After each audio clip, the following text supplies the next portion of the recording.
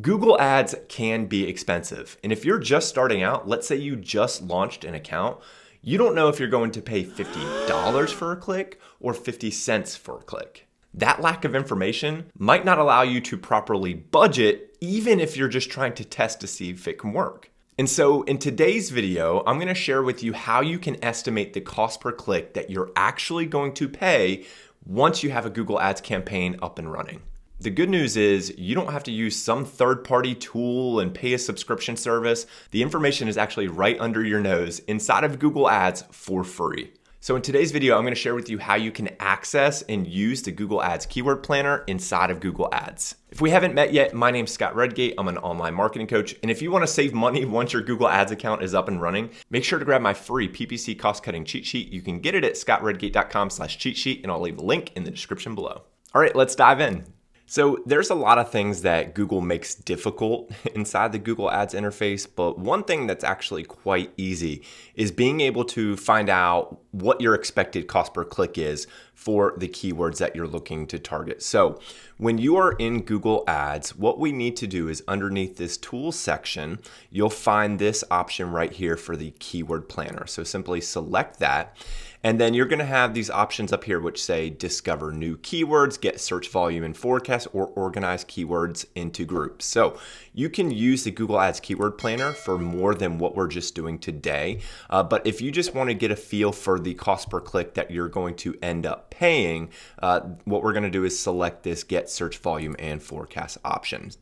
So then you're greeted with this. It says get search volume and forecast all you need to do is start inputting or pasting in the keywords that are relevant for your business that you're looking to target in Google Ads.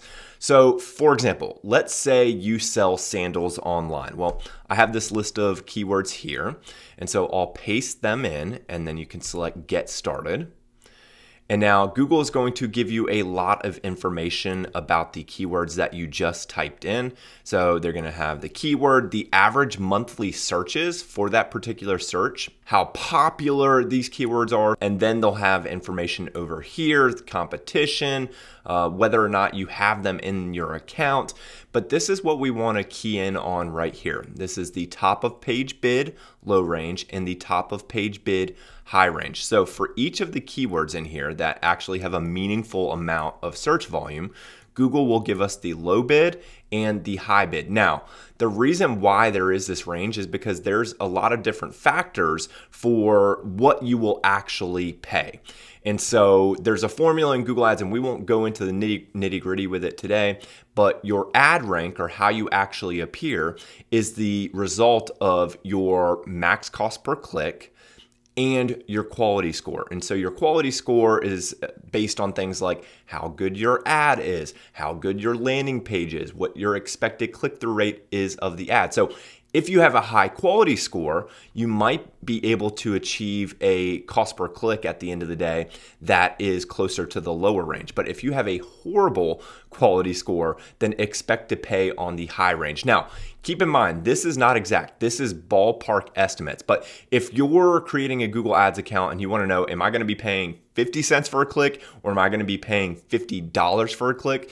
This tool will help you get that information so you have a ballpark estimate. So what I like to do once I have this information is download these keywords. And so right here, Google gives you the option to download them into a CSV. And so that's exactly what I'll do. So now that we have the document downloaded to our computer, I'm gonna go into an AI tool and I'm gonna use Gemini, but you could use ChatGPT or you could use Claude AI or whichever one you prefer.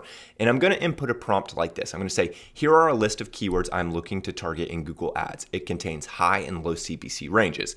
Can you give me an average for each keyword and an average CPC overall for all keywords? Now, you might have success if you directly upload that document that we just downloaded from Google Ads, but I, I know that these AI tools can stumble sometimes when there's unique formatting in Excel docs or CSV. So I'm actually going to paste in the relevant information into the uh, AI tool. And so I'm going to take the keyword, the top of page bid low range and the top of page bid high range and directly paste that in. And it looks like it pasted it in as a PNG here. And I'm gonna hit submit. So you can see there what it looks like, the information that I pasted in.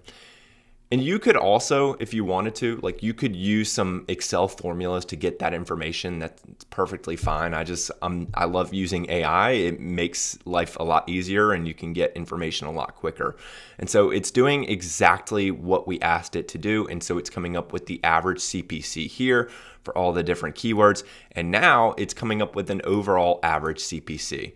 And so the overall average CPC for the list of keywords is $2.04. And then you can scroll through here and see some of the, the information um, for each keyword. Now there is an outlier here because this super broad keyword sandals is coming in at $11.32. So that might be skewing the results here.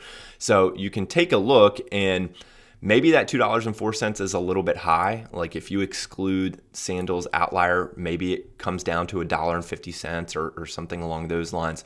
But now we have a ballpark idea that if you have an e commerce business, the average CPC that you are going to come close to hitting. Now, again, depending on your quality score and your website and your ads, uh, your average CPC might be a little higher, it might be a little lower, but you now have a ballpark idea so that you can start to budget and plan accordingly. I hope this video was helpful for you. If you want to learn more about Google Ads, watch this video next.